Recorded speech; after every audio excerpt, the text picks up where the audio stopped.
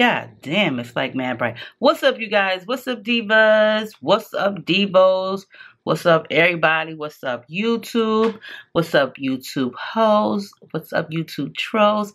What's up, YouTube Fairyland? What's up? What's up? What's up? Y'all know it's real talk. I know it's real talk. It's Tuesday and it's mad late in the day. It's 2.56. So we're not going to be here all day because, girl, I got so many things to do. Like, I don't know why I decide to do things all at I don't even want to say it's all at once, but I, I you know what? I'm gonna just say this. I really feel like there's not enough time in a day. And I'm pretty sure I'm not the only one that feels this way. I look a hot mess, like my cornrows is not redone. I didn't do them today. I've been working all day, editing videos, um, posting up videos, editing pictures.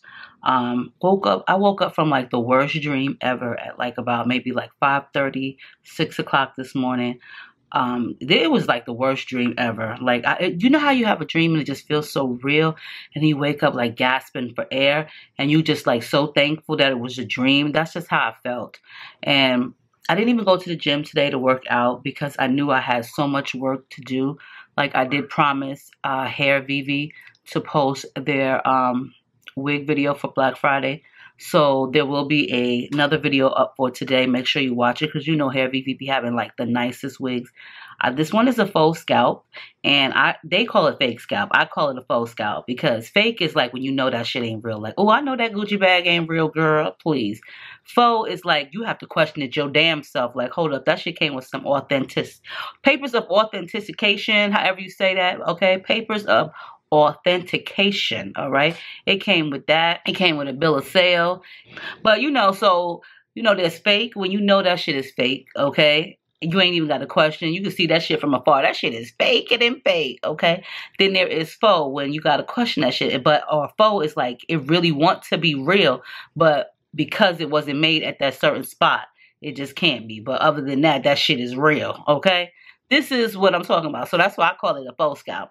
So make sure y'all watch that video because I will post that up later on today. I was supposed to be at the doctor's today to get my other uh, leg, my right leg injected with like 14 needles. But I decided to not go. I rescheduled because my leg has been so swollen and my foot has been swollen um, on my left leg. So I'm like, wait a minute.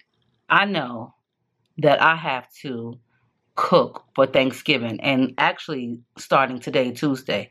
I would like to start. Um, I only start minor things like boiling some potatoes and shit like that. But that's the one thing that I do know that I need to do. And I do start cooking certain things on a Tuesday. Normally it'd be like a couple of pies, but a bitch got uh, a couple of pies in the refrigerator that I done purchased. I'm not making no damn pies this year, okay? I don't even eat pie like that. Nobody else do. So I'm not about to stand here and cook my ass off that much, but but that much I will be doing. So you know, I got a whole spread that I gotta get out there. Uh, what a, I'm, I'm just run the menu down to y'all real quick, okay? So we got ham, we got turkey, okay? We got ham, we got turkey, we got baked ziti this year. We got cabbage with bacon in it. We got baked macaroni and cheese. We got rice. We got curry chicken. Okay. We got um, sweet potatoes from scratch, okay, not out the can, with marshmallows. We got my homemade gravy that take like six hours to make. Um, potato salad, uh, deviled eggs. Um, I, I'm missing something. cornbread. I don't even feel like making that cornbread shit. Um, I know I'm missing something. I'm missing something. I can't remember, but that's 12 things so far. Because, you know, so, but, um, oh, stuffing. But that's not what I was thinking about. Um, I can't remember. I know I'm missing something, but whatever. That's 13 things. So I gotta be busy. I do have all those things to cook, you guys. And also, I do need to be in front of my house. Well, I don't even really need to be in front of my house right now. But I did want to put my Christmas decorations outside. And that takes me like at least a couple of hours. Happy Thanksgiving also for those of you guys. As well as I hope everybody's having like an amazing day. So let's get into this real talk real quick. Y'all already know what to do. I'm gonna put it down below. If you need a real talk that you you know you need me to talk shit about, you can send me an email to muffinismylovers2012 at gmail.com or April's Real Talk at gmail.com. Please put in the subject line real talk. And for those people that you are talking shit about in that email, if you'd like to go ahead and change their names, you can do so. And please let me know so. And if you don't so, then I will change it on my own, yo. So on that note, let's get into this real talk, you guys, okay? Huh? Huh? Huh? What? Damn.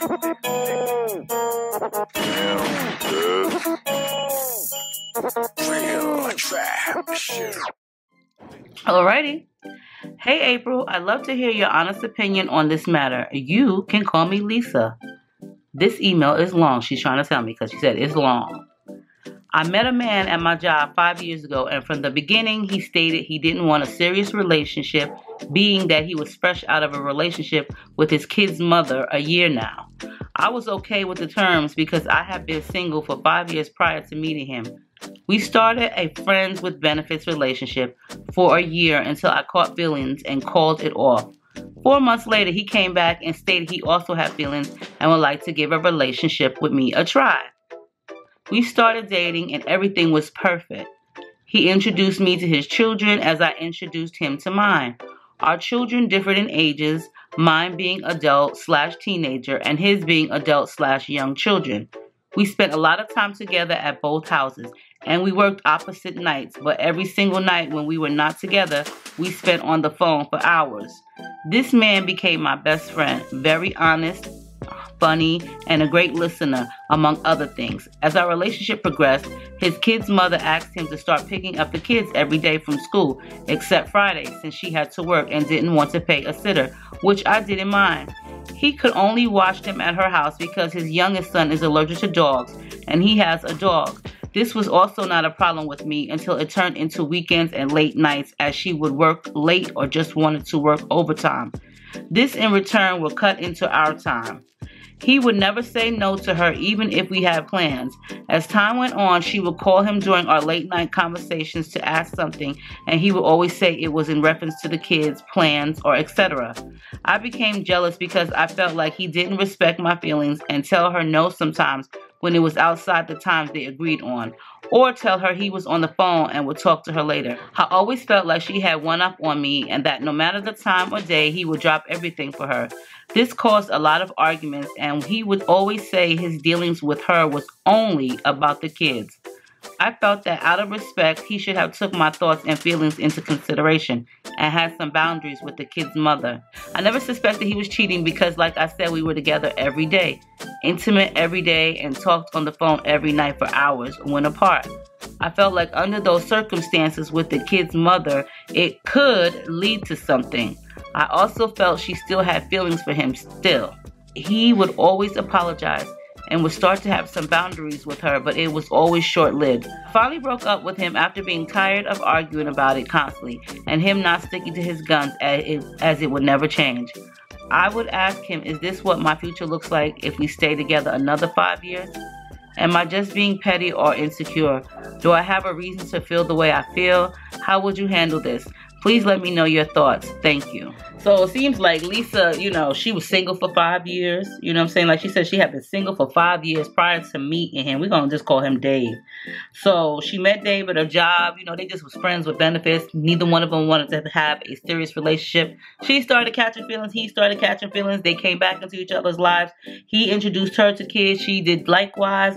And things just got a little bit out of hand and out of hand as in his baby mama so the baby's mother actually started asking Dave to babysit the children while she was at work so this way she wouldn't have to pay a babysitter now the only way that he was able to babysit his own kids was to do it at his, his ex's home because one of their children was allergic to dogs and Dave had a dog. I don't know. I, I feel like if I had um, a child that had um, an allergic reaction to like a pet, I wouldn't get that particular animal. Not even if we were living apart because even if we don't live together in the same household, I still wouldn't want a dog if I knew one of my kids were allergic to them, especially if they were little kids that I needed to be around quite often. Only because, you know, you can travel from your home without the dog and you still have the dog's fur on you. That way it's coming in contact with the kid. The kid is getting sneezing, you know, all that stuff. So I think I would avoid that. So I thought that was kind of strange on Dave's part. But, you know, like Lisa said, she started feeling kind of jealous because he would drop everything for his child's mother or his kids at the drop of a dime. And also his kid's mother, she kind of didn't know her boundaries and Dave didn't know how to keep his foot down either, okay, and be stern about the shit. And she got tired of arguing with it with Dave. So she broke up. What do I feel about the whole shit? Well, me particularly, if it were me, I would probably get uptight too, like to be honest. Because if I made plans with you, that means that I've made plans with you. We've made plans. That means that I have put everything off because we have plans together. So I wouldn't really like it if somebody was able to just step into the middle of our plans all the time. Like, I could understand if it was like an emergency, of course, by all means. But not if you decide, well, I just want to go to work tonight, so I'm going to go to work. Or better yet, well, I'm gonna just go work overtime because that's what I feel like doing. I think there does need to be boundaries because even though that is Dave's children too, that's not his home. You know what I'm saying? He does not live there.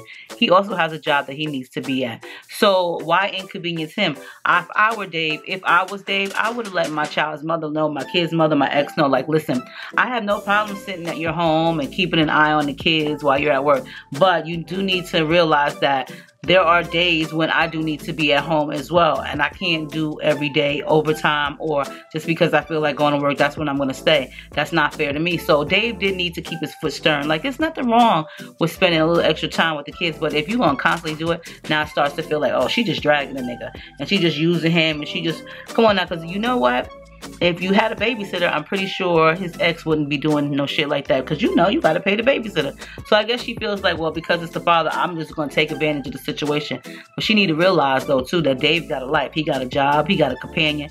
He got a life. Okay, he need to be at home too. And even though those are his kids, that is a boundary and is out of respect. So I can understand where Lisa's coming from, especially if it's definitely keep cutting it into your time. Like we're not saying, oh, get rid of the kids or not like that, but like she said, there does need to be some boundaries. And if you're gonna constantly keep doing that shit, then of course you're gonna get tired of it. You're gonna get tired of it. And what better thing to do is just to kind of like back the fuck off. You may not want to break up, you know, sometimes you gotta just set your boundaries too. You know what I'm saying? Gotta set your boundaries too. If you want to constantly keep calling, you know, the shots are, oh, well, we can't go to on date night tonight because I got to go over there for my ex. Or, oh, my ex is calling, so I got to go talk to her. Like, he got to put his foot down, too. But if it were me, I would have been, I would have been tight, too. Straight up, I would have been tight, too. Now, the part where you, like, you know that he's not cheating, well, that's, a, that to me is a plus because I like to see someone that's strong and not, like, you know, vulnerable in like those type of departments because sometimes when you be like so vulnerable you think someone's cheating on you or treat you unfairly you always try to kind of like nip it in the bud or you're on guard sometimes your on guard can be a little bit standoffish you know what i'm saying? Breaking up with him i'm pretty sure you do miss him and you might have your regrets about it but have you have you taken the opportunity to give you guys some space and time apart and then kind of like maybe contact him and see where his head is at. See where his space, what headspace he's in right now. See, see what he's taken from this vacation from one another. You know what I'm saying? See where his head is at. Because maybe the breakup may not be permanent. You know what I'm saying? Some things are temporarily, especially if it's a good thing. And you know me, listen, y'all met each other at work. Now, I don't know, do y'all still work together or not? Um, I, I think she said they work opposite hours or whatever. But if you guys work together on a daily basis, I'm pretty sure that would be hard. But if you work an opposite shift, then that's cool. But y'all know me how I always be saying, look, I go to work to work. Okay, I ain't trying to be wake, making no friends. It's a paycheck. Shit, I don't want to be here. That's how a lot of people feel about the situation. But you guys kind of started off as friends work friends and then you came to become work friends with benefits and then you guys both became um booed up okay because you caught feelings for one another. Um you, you seem like you guys have like a nice little steady pace going on there and it sucks that you know an ex can ruin it for you. Like seriously they're called an ex for a reason. It just sucks when an ex can tear a relationship apart. Um, but maybe the relationship wasn't meant to be, or maybe the relationship wasn't strong enough. I guess, you know, there's so many different factors that you could look at it like, well, you know, that nigga wasn't strong enough. Well, they was cheating. There's so many different factors. But what I do know is this if you've had your talks with him and um, he's constantly doing this, sometimes we need a little space. And the only reason why Lisa's writing is because she missed Dave. She ain't say, you know, what did she say that? Um, she just said, Do I have a reason to feel the way I feel? Am I just being petty or insecure?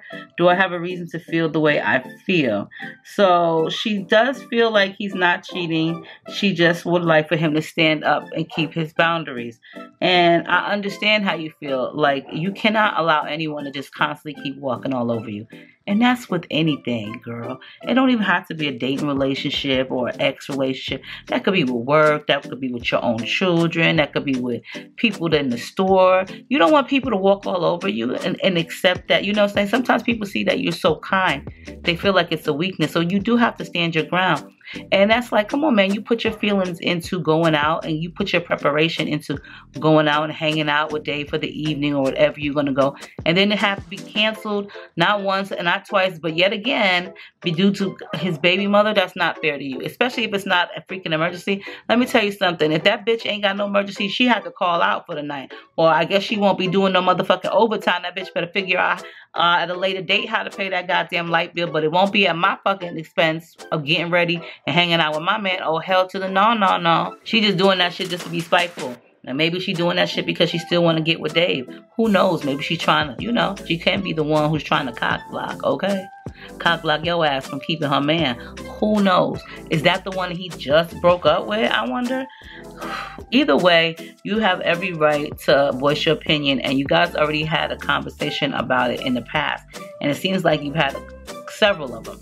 Um, now, sometimes you gotta step back. When you step back, sometimes it lets them see, like, yo, she really is serious about this. I gotta come through and I gotta come through correct.